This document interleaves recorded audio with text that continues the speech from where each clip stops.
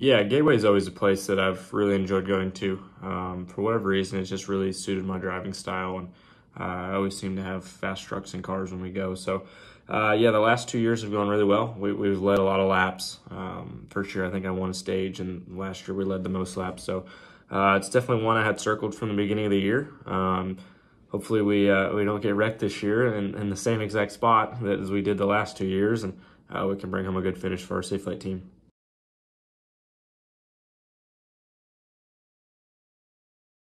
Yeah, um, you know, I feel like Gateway is a pretty technical racetrack uh, in the aspect where you need a lot of turn, but you need a lot of grip as well. So um, we, have done a really good job trying to manage that the, the last two years in the truck series itself.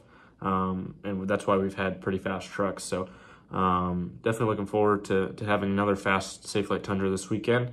Uh, and just really, like I said, get to my favorite racetrack. Uh, it's really flat, and for whatever reason, uh, I've always really enjoyed going to those. So uh, just looking forward to this weekend.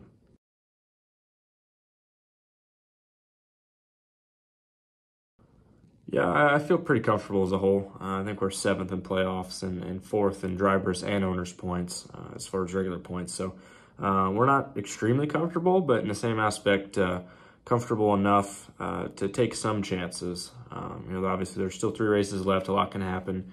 Um, we need to be careful and know that, but at the same time, uh, we need to go get some playoff points and, and, do whatever we can to get our setup or ourselves set up for uh, the playoffs themselves. So uh, we feel pretty good about our position. Not perfect, of course. Uh, obviously, we wish we had a win and, and locked in, but in the same aspect, uh, we're pretty comfortable with it.